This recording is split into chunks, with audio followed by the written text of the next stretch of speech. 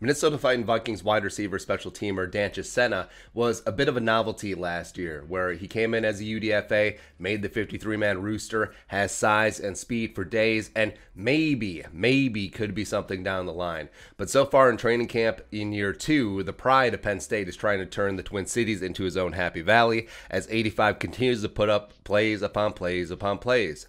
So let's talk about Chisena today. Background 24 years young, 6 foot 3, 205, ran track at Penn State for three years, was Big Ten champions in the 4x4, also set school records in the 4x1 and 4x4. Uh, walked onto the football team in 2018, was a scout player that season, eventually earned himself a scholarship. 2019 worked his way into special teams role as well as played a little bit of wide receiver, played 195 snaps over 12 games on offense for the Nittany Lions, recording three catches for 66 yards on five targets, plus had four special teams tackles. He ran a 4.32 40 at his pro day, which is which is pretty good. Yeah, it's pretty damn good.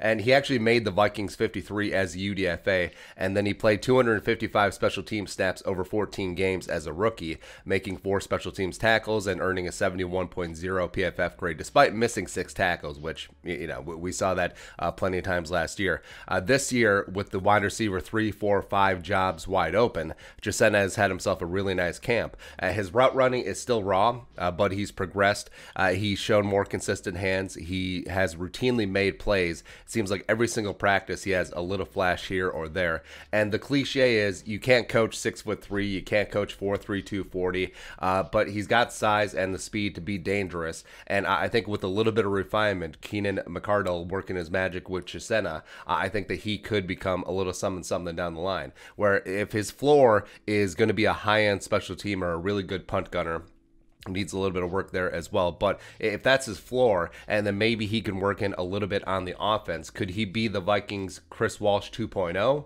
Uh, could Chisena be what Mobo was supposed to be? Uh, we'll find out. Uh, I think Chisena is one of the guys that I'm most excited to, uh, to see in preseason, like him, Kene Nwangwu, ISM as well. Just players that have all the, these explosive traits where the, if they just hit one play, one big memorable play uh, under the lights in preseason that, that could make the entire camp, that could make their entire uh, preseason for them and uh, cement their spot on the rooster. So I think that Dan Chisena has this opportunity to really put a stamp a year or two uh, on Vikings training camp. But uh, your thoughts, Dan Chisena blowing up, making waves, let us know in the comment section below. Subscribe for daily Vikings takes. I'll support that work. Post on the Venmo. But until next time, Skol, production value.